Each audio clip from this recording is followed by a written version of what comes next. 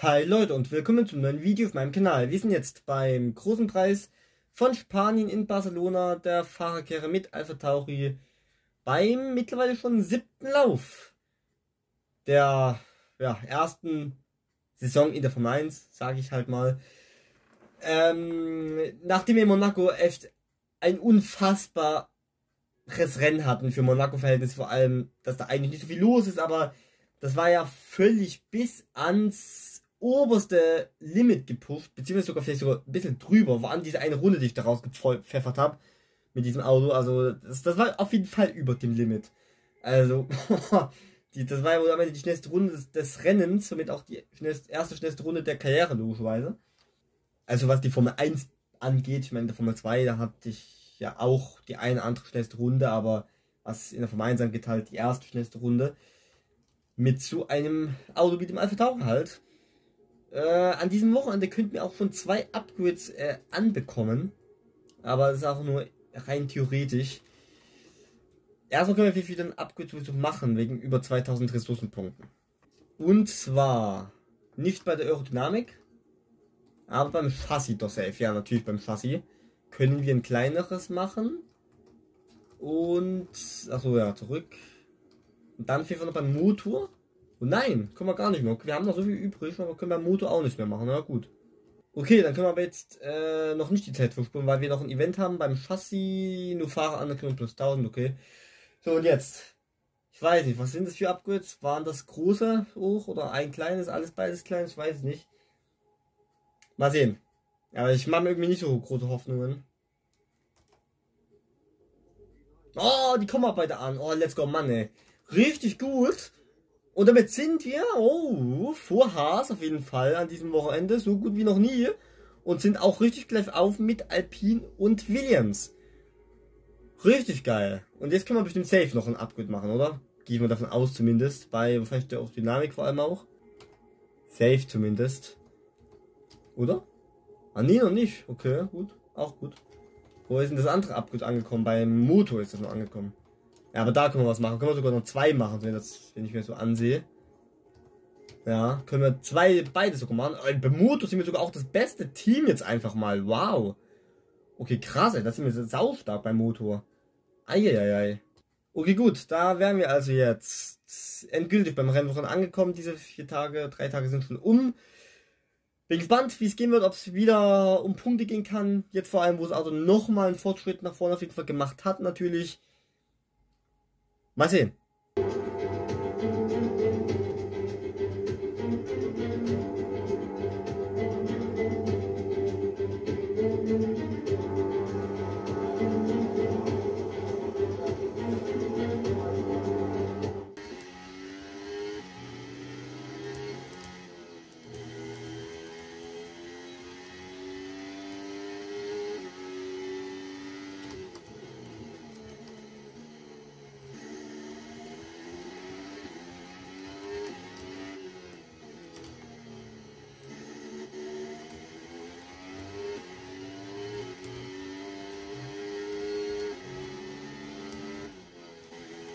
Oh ja, die Upgrades, die machen sich auf jeden Fall bemerkbar. Und wie die sich bemerkbar machen. Boah, 14-1. Ganz, in der Verstappen. Boah, ich habe da ein bisschen ungutes Gefühl, aber ja, wir haben auf jeden Fall ein paar Upgrades gemacht. Also es wird schon auf jeden Fall sehr gut helfen. Mal sehen, es könnte aber wieder so für Q2 reichen, wieder auf Anhieb. Boah, ja, Mann, auf den Plätzen 8 und 11 kommen wir sogar weiter. Wow, die Abgüsse waren sich auch bemerkbar, auch bei unserem Teammate auf jeden Fall. Er ist ja auch einfach mal Elfter, voll souverän. Ohne, ja, unter Druck dabei zu sein, es nicht geschafft zu haben.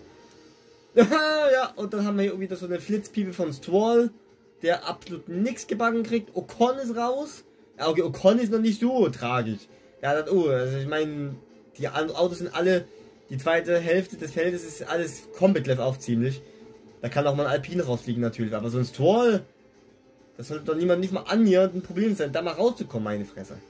Aber offensichtlich kriegt das nicht gebacken. Aber gut, dass der, der einer der schlechtesten KI-Fahrer in dem Spiel ist, wissen wir von der Meidenkehre. Wie oft der der letzte war, äh, kann man gar nicht, äh, soweit kann man gar nicht zählen, glaube ich.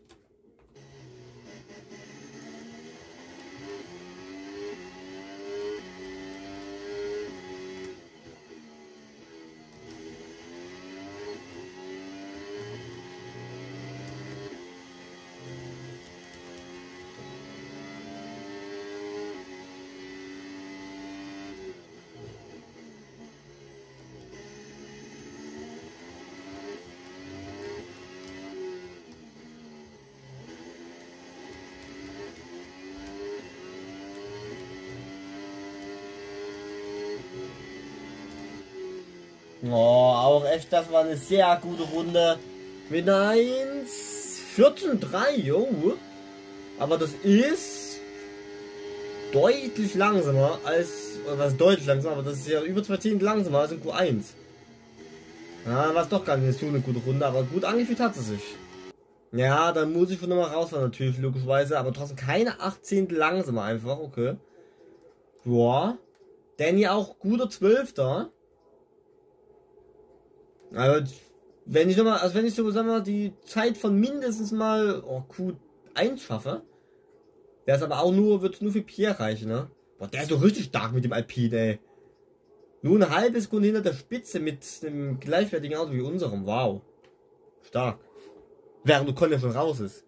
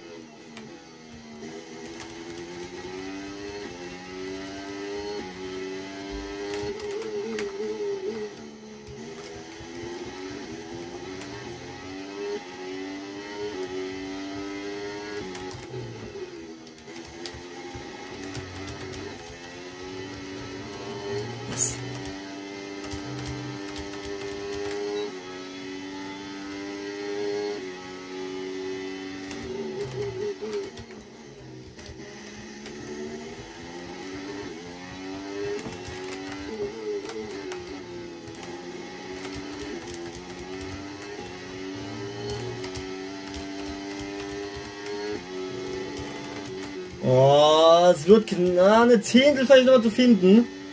Ja, eine Zehntel habe ich nochmal gefunden. Oh, es war aber auch eine sehr gute Runde jetzt. Aber es reicht nicht für eine Positionsverbesserung, aber viel mehr würde ich glaube ohne gehen.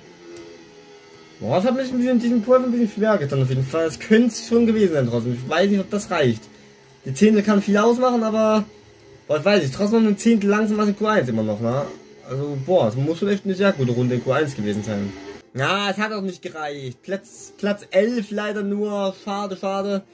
Aber selbst wenn, also wir hätten schon unsere beste Runde gebraucht an diesem Wochenende, um ähm, halt in Q3 zu kommen, um Gasly wegzukicken. Dann in 14-0 gefahren ist. Also das war echt eine gute Runde. Ich weiß nicht, ob das so viel mehr gegangen wäre. Aber auch stark von Daniel. 12. 11. und 12. Wow.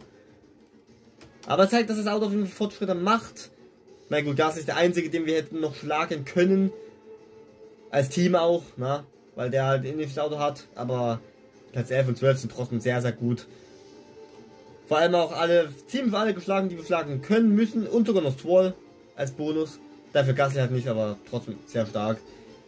Im Rennen, mal sehen, wie es da wird. Punkte, natürlich wieder Ziel, zumindest einer oder so. Und vielleicht auch doppelte Punkte wieder. Wer weiß schon. Auto noch besser als in Monaco und Imola logischerweise ja, auf ins Rennen, auf ins äh, Rennen. Es ist an der Zeit, einen Blick auf die Startaufstellung der Fahrer nach einem aufregenden Qualifying von gestern zu werfen. Der junge Superstar Max Verstappen startet von der Pole und Lewis Hamilton macht die erste Reihe komplett. Und hier die restliche Startaufstellung heute. Perez, Russell, Leclerc, Sainz, Oscar Piastri, Norris, Fernando Alonso, Gasly, der Witzbold, Ricardo, Albon, Magnussen, Joe, Ocon, Hülkenberg, Stroll, Bottas und Logan Sargent. Gleich werden die fünf roten Lichter erlöschen und wir sind gespannt, wer heute triumphieren wird. So, purer Sonnenschein, obwohl, naja gut, zu purer Sonnenschein sieht ein bisschen bewölkt auch aus. Aber es soll nicht regnen zumindest. Also das war auch das eine aber gute oder, keine Ahnung, auch Regen macht eigentlich schon Spaß, würde ich sagen. Ähm, Soft Medium, okay. Okay, na gut, wenn uns das schon mal vorgeschlagen wird, dann machen wir das doch einfach auch mal. Oh ne, Benzin, Benzin, Benzin, Benzin, das muss man jetzt nicht übertreiben. Machen wir wieder 0,5 äh, Liter mehr rein. Und dann können wir loslegen. Platz 11 und 12 Punkte natürlich in greifbarer Nähe wieder. Gasly wird unser Gegner sein natürlich. Vielleicht auch doppelte Punkte, wenn jemand vorne ausschaltet oder so. Wer weiß. Los geht's. Oh, Alonso sogar mit Hard und Pierre auf Mediums. Oh, okay, jetzt, okay. Na, den Start hat er mal völlig verpennt jetzt gerade. Ach du Heilige, ey. Wie schlecht kann man den starten, ey. Sie sind einfach mal völlig verpennt jetzt.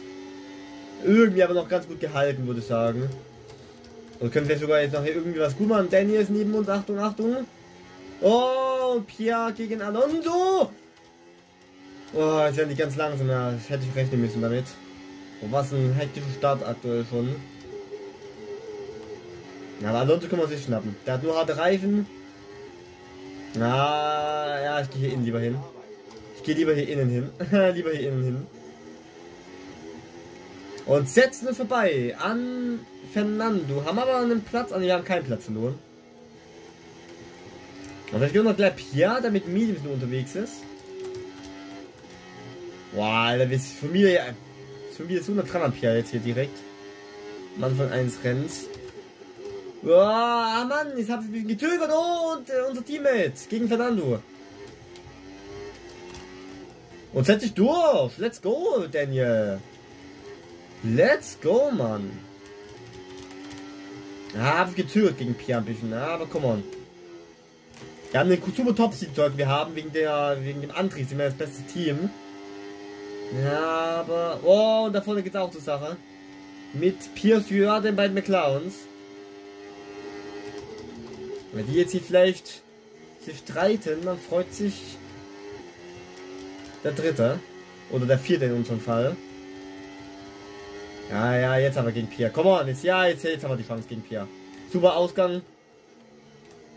Jetzt schön da außen, einfach ausbeschleunigen und sind vorbei. Let's go.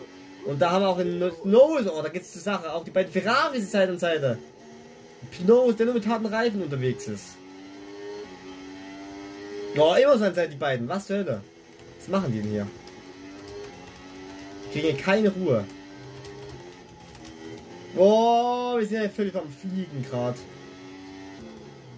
Oh, Daniel. Gegen Pierre. Aktuell wären das hier dann doppelte Punkte. Während die beiden Ferraris noch gar nicht in Ruhe lassen. Boah, wir könnten hier Norris einfach außen ah, überholen. Hat ein bisschen der Schwung leider gefehlt. Und der Pierre. Oh, jetzt auch Pierre so gegen Leclerc. Alter, geht's ab. Hier geht's ab. Und Daniel ah, muss ich jetzt mal gegen Alonso äh, verteidigen. Oh, was machen die denn? Leclerc hat hier ein bisschen langsam sein irgendwie. Oh. Oh nein. Oh nein, was tue ich hier? Wieso außen? Wieso will ich da außen hin? Jetzt wir gegen Nois. Und sind vorbei an den. Was zur Hölle, ey. Ach, Leclerc ist auch auf harten Reifen. Deswegen ist der Auto langsam. Warum geht man auf harte Reifen eigentlich? Ich kapier's nicht. Ja gut, die mit den harten, die haben natürlich ganz viel Nachteil. Auch gegen so einen Alpha Tauri.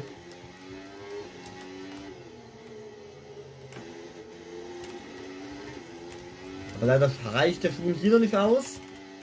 Ja, auf jeden Fall das Ziel ist direkt überholen, oder? Ja, ja, es war sehr guter Durchgang, Ausgang. Wir haben zwar beides DS, aber komm, zieh! Boah, aber der Topspeed, ah, aber verteidigt, oder? Ah, nee, noch nicht. Na gut.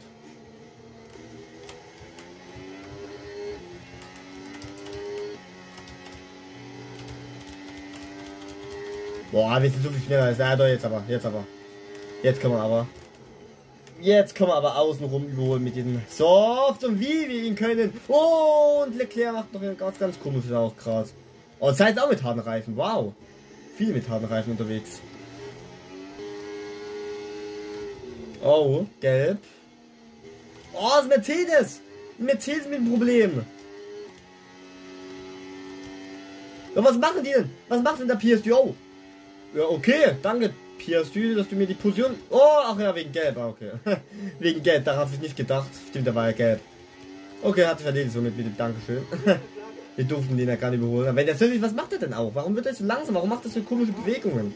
Um was auszuweichen, der fährt einfach einen weiteren Bogen wie wir. Ist einfach Sechster gerade in dem Rennen, hä?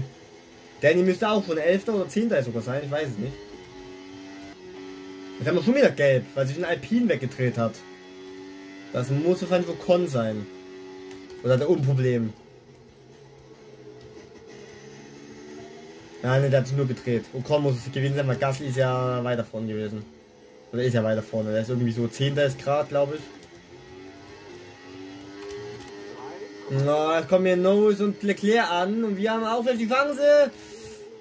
Oh, Lando. Oh, wir sind ganz schön nah an Pierce rankommt. Der ist auch langsamer als der es verloren hat. Auf Science, weil die Softs auf jeden Fall einbrechen werden. Das sieht man auch, wie hier Nose und Leclerc da mithalten können auf einmal. Alonso auch gerade vorbei Pierre. Na, wir haben da so ein bisschen Probleme an Pierce dran zu bleiben. Das merke ich schon. Ja, oder auch nicht, wir sind mir gerade so richtig nah dran. Das war auch echt eine sehr starke Runde, die ich da gefahren bin. Das könnte einen Angriff geben. Oder es wird sogar ziemlich sicher einen Angriff geben. Oh ja, und was ja, aber der Topspeed, der ist echt so ganz schön stark. Ja, das ist ja logisch. Sogar noch vom Anbremsen vor ihm. Boah, wir sind ja einfach gerade Fünfter in diesem Rennen. Was? Ja gut, das wird so nicht enden, glaube ich. Da haben wir halt vor allem noch so Nose, Leclerc, die dann auch Mediums haben werden mit gleichen Reifen. Und so, na. PSG kann ich ohne Fuchten, dass wir den schlagen können heute. Dann werden wir halt von insgesamt 8 mindestens nur, ne? Haben wir noch einen Alonso auch ebenfalls, der eigentlich ein starkes Auto hat. Ja, okay, wir sind in dieser Runde in die Box kommen. Alonso und der McLaren Norris sind auch schon jetzt in der Box. Also wir, die machen sich viel Undercut auf uns. Naja, gut. Ja gut, Alonso wird vielleicht nicht so dramatisch, aber zumindest gegen Norris könnte vorbeikommen oder wird wahrscheinlich vorbeikommen. Aber wir sind in der Runde auch in die Box gekommen. Also. Und vor allem gegen. Also nicht Norris, Pierce meine ich. Okay, ab in die Box. Ja, die Boxen Einfahrt nicht versemmeln. Ja, gut. Jetzt wieder Duell der Boxen-Crew. McLaren gegen Alpha Tauri diesmal. Diesmal ist McLaren, also sind wir halt vorne. Gassi war beim letzten Mal vorne, da haben wir ihn dann überholen können. Oh, 0,0, Alter, perfekt. Wenn das nicht reicht, vor dem zu bleiben, vor dem McLaren, ja, easy sogar. Easy. Boah, unsere Jungs sind echt stark. Haben wir sogar wieder einen kleinen Fuß mit rausgefangen, glaube ich. Ja, gut, da haben wir PSP vorbei. Oh, aber da steckt es in einem Sergeant fest, in der Williams. Das ist unsere Chance natürlich wieder zu kontern somit. Oh, Sergeant. Na, let's go, Mann. Oh, ich war der PSP noch voll Fehler. Was macht denn der? Ja, danke, äh, PSP, ne? Danke, Oscar. Ui. Danke, Oscar, auf jeden Fall. Oh, aber der hält der außen noch mit, oder was? Ah, ne, jetzt sind wir vorbei. Oh, danke, Oscar, für diesen Fehler und danke, Sergeant, dass du den wohl aufgehalten hast, so gut. Das gefällt mir sehr gut. Also wenn den langsam Williams aus dem Weg räumen. Boah, jetzt Achtung, es wird er langsam sein. Oh ja, wie langsam das sein wird. Ach du Scheiße, ey. Aber jetzt einfach da innen durch. Oh nein. Zu spät, zu spät, zu spät, glaube ich, oder? Ja, ja, perfekt. Sehr gut. Können Sie diesen kleinen Fußball rausfahren sogar vielleicht.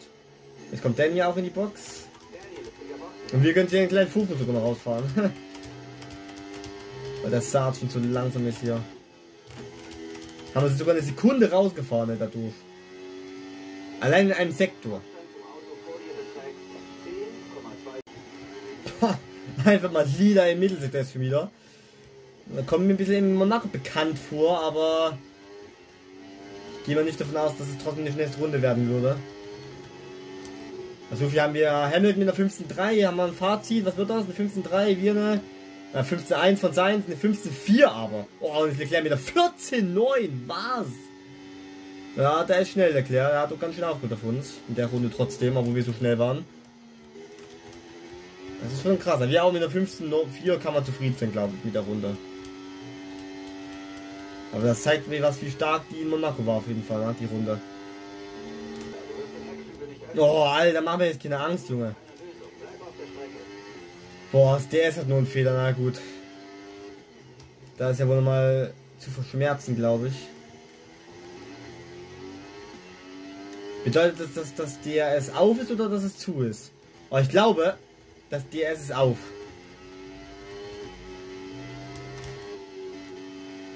Ich glaube, das DRS ist auf. Oder? Ah, oder auch nicht, keine Ahnung. Weil es gerade zu schnell war auf den Geraden, auch in die nicht in den DS-Zonen. Das ist schwer von erzählt zu. Wenn das zu ist, haben wir ein Problem, wenn die mal vorbeikommen oder wenn das jemand einen Angriff gibt. Das ist natürlich klar. Ich glaube, einen Angriff wird es live mal geben gegen ja äh, Leclerc.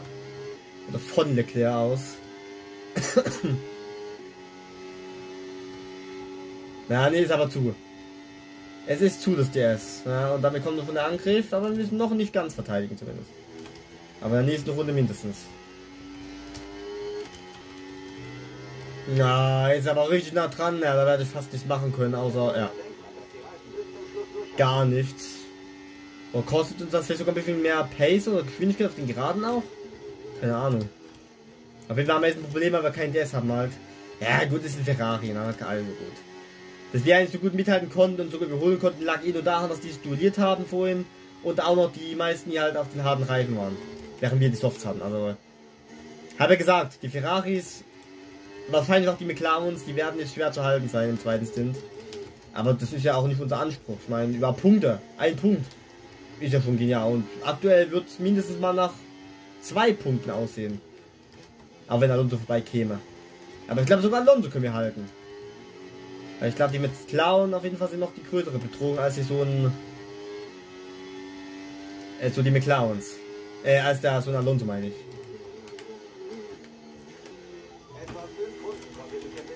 Ja, aber keine Chance, ey. Wir haben nur keinen DS halt, ne? Wir hätten es vielleicht sogar noch gehabt gegen Leclerc gerade so.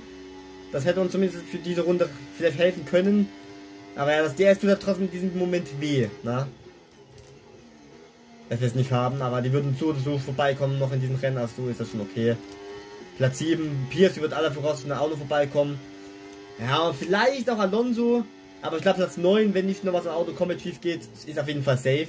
Wir haben einen riesen Vorsprung auf Pierre. Und Alonso, wer weiß, vielleicht können wir den ja auch halten. Sind ja nur noch vier Runden nach dieser hier.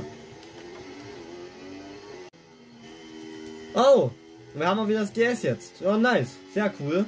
Also ich glaube auch, dass trotzdem so Norris gleich vorbei äh, wegziehen wird von uns. Außer der greift sich hier den Leclerc an. Ja, nee, Vater. ja, aber Norris wird trotzdem gleich weg sein von uns und dann wird Pierce kommen. Das ist ja logisch. Oh, ich gesagt, den Angriff auf jeden Fall von Lando gegen Leclerc, während Alonso Pierce überholt. Pierce hat keine gute Pace, ey. Jetzt ohne Scheiß. Kommt jetzt mal Lando hier an Leclerc vorbei oder können wir so sogar noch Konter dadurch, jetzt, wenn die sich hier behagen?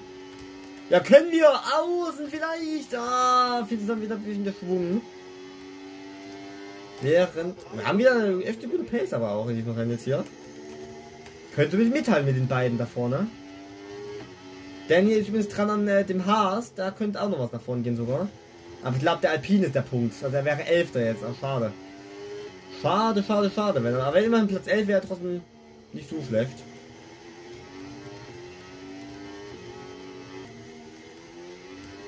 Die letzten paar Meter jetzt in diesem Rennen. Pierce und Alonso sind jetzt nochmal rangekommen an uns, aber das sollte hoffentlich gut gehen. Wenn wir jetzt kein Vollidiot sind. Die haben sich mit vielen bekämpft vorhin noch, dadurch konnten wir jetzt so gut halten und können auch das hoffentlich ins Ziel bringen, aber auf jeden Fall der Ziel eine kleine Chance. Wenn wir das nicht gut nehmen, dann kann er auf den letzten Metern vorbeiziehen. Aber dazu müsste schon viel schief gehen bei uns. Ja, sehr gut. Alles geklappt. Ein starker Platz 7, den wir da ins Ziel retten. Puh, Daniel leider nur 11. glaube ich. Aber auch das ist natürlich trotzdem ein gutes Rennen von ihm. Kein überragendes, aber ein gutes. Und zeigt trotzdem nochmal ein paar mehr Upgrades und es kann ja noch ein paar mehr Upgrades und dann können wir auch ähm, mit beiden Autos regelmäßig Punkte holen. Aber trotzdem auch das von Ricardo war schon ein starkes Qualifying und im Rennen dann auch stark. Sogar den Platz noch gut gemacht gegen Magnussen den er da sogar noch auf Abstand bringen konnte. Ja, 5 Sekunden haben zu Gassi gefehlt. Ja, hätte vielleicht, keine Ahnung, wie viel beim Stop was gegangen oder. Ja gut, er war halt ein bisschen später wieder in der Box als wir. Gassi, glaube ich, auch eher drin war, keine Ahnung. Weiß gar was ist da überhaupt für Reifen gefahren? Der könnte auch auf Softs gefahren sein, oder? Medium Soft. Hat er vielleicht gemacht, kann ich mir gut vorstellen. Können wir mal kurz gucken. Nee, der hat sogar wirklich Medium Hard gemacht, okay. Ja, gut. Und dann einfach auch ein starkes Rennen von Pierre natürlich wieder auch einen Punkt für Alpine geholt. Ja, wir echt stark von 11 auf 7. Profitiert von natürlich auch erstens Russell DNF, sonst wäre es nur Platz 8 schon erstens. Und zweitens auch von diesem Duell von Alonso und Piastri äh, profitiert. Am Ende waren die von nah dran, vor allem Piastri, also noch eine Runde länger und Piastri hat uns auch noch gehabt wahrscheinlich. Und hätten die sich nicht duelliert, da hätte er genug Zeit gehabt, um uns noch zu überholen. Vielleicht auch Alonso. Also hat schon alles auf jeden Fall dann zusammengepasst, würde ich sagen. So dass wir Platz 7 retten holen konnten. Weitere 6 Punkte, die auf unser Konto gehen und auch im Team in, aufs Konto gehen. Verdammt, mit 49 Punkten Vorsprung. Was geht denn bei dem auf einmal ab hier? Der Martin Kehre ist so schlecht und hier wie der beste Fahrer der Welt plötzlich wieder. Unfassbar, ey. 17 Punkte, immer noch Platz 10. Ja, Alonso ja, kann gehen natürlich, ne? Der kann gehen, wenn man ganz frech ist.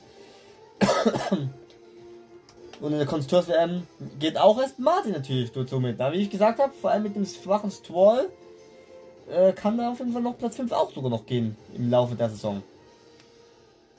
Ja gut, beim nächsten Mal sind wir dann beim großen Preis von Kanada beim achten Lauf der Saison mittlerweile dann schon angekommen.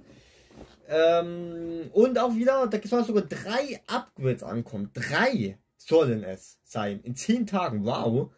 Ja.